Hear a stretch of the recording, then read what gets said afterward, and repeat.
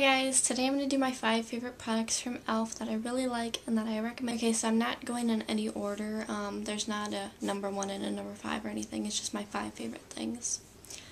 So the first one is a lipstick and it's from the $1 line. And this one's in Classy and I have it on right now. Just a pretty pinky color. Kind of a darker pink. But it's really pretty. Okay, so the next thing is an e.l.f. Mineral Eyeshadow. And this one is in Beachy. Which I'm to try not to spill it. And these are maybe $3. I don't know. I got it in a set with two eyeshadows and a brush. Ooh. Okay. I don't know if you guys can see that. Hopefully you can. But it's a really pretty, like, cobalt blue kind of color. Try to do a swatch. Okay.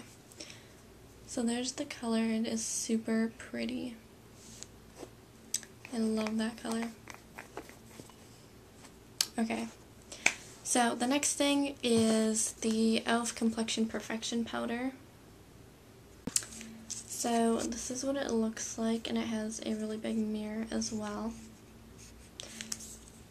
And I don't really like to put it all over my face. I just use it to set my concealer. That's what I use it for anyways.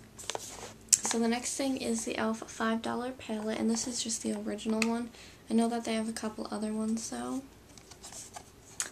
it looks like this. Um, I really like the colors.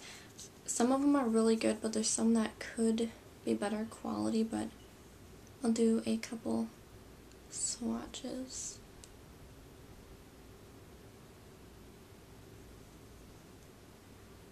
Okay, so there's three swatches. There's a pink, a black, and a brown color.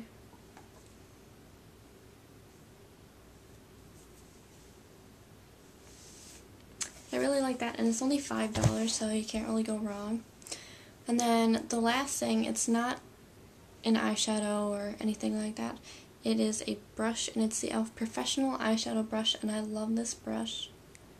It's really good for packing color on, and it's just I love it, and it's only a dollar. I actually have a couple of them because I really like them.